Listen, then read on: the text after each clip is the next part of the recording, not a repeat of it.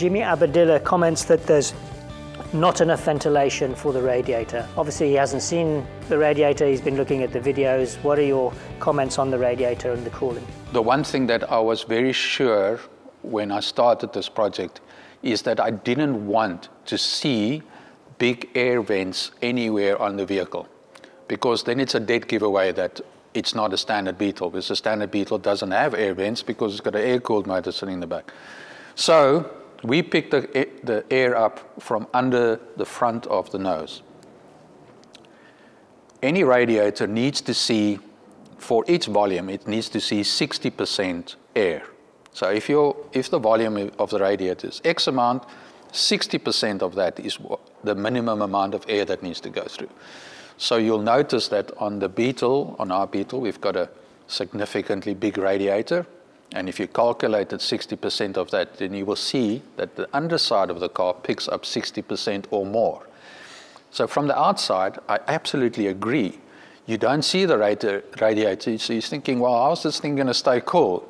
It stays cool in South Africa under our extreme temperatures. So when I say extreme, extreme temperatures, we do see the 40 degrees Celsius. I don't know what it is in Fahrenheit, but we see some very high temperatures.